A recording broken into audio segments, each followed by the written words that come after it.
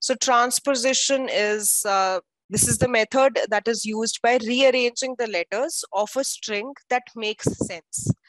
So I have written a block of data. This data to me makes sense because I know what is the key. Uh, the key is a transposition cipher. I have written the text vertically, but of course, we humans read the text horizontally. So for a novice person, this becomes an unintelligible code. But for a person who has key, if I if I provide a key to the party, for example, that it is it is transposed vertically, if I if I tell it to a party, he will read it as an intelligible code. So it is the bag is on the table. The bag is on table. So this is a meaningful code to a person who knows that it is transposed vertically. But it's not used in security infrastructures because it is too easy to break. Okay, then coming back to the more important ciphers are uh, block and stream ciphers.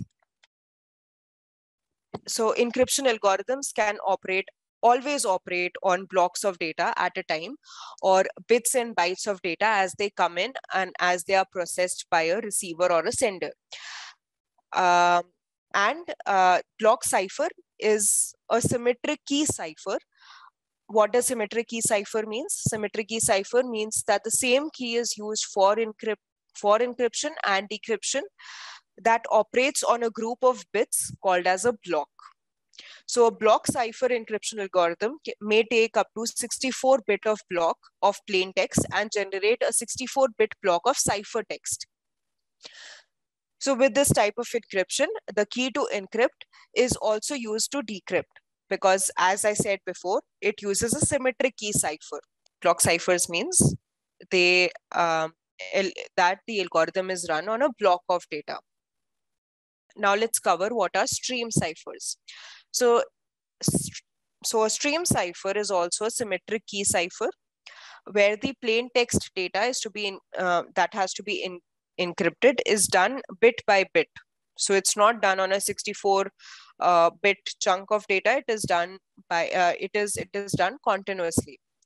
So and that cipher the output stream that comes out is called a cipher digit stream or a cipher text stream. Uh, the ciphertext stream that comes out uh, is of course indecipherable because it has been encrypted and worked upon by the stream cipher. So because a given algorithm, uh, depending on what algorithm is used, the ciphertext stream does not have to fit in a given block size of data. There may be slightly less overhead than the block cipher because uh, in stream cipher, there is no use of using padding. So a 10 bit chunk will result in a 10 bit cipherable data. It will not result in a 64 bit cipherable data because there is no padding that is needed. In symmetric key, the same key is used for encryption and the same key is used for decryption. But in terms of, but when we talk about an asymmetric algorithm, the keys that are used for encryption are not the same that are used for decryption let's let's come to hashing right? So hashing is a method that is used to verify data integrity.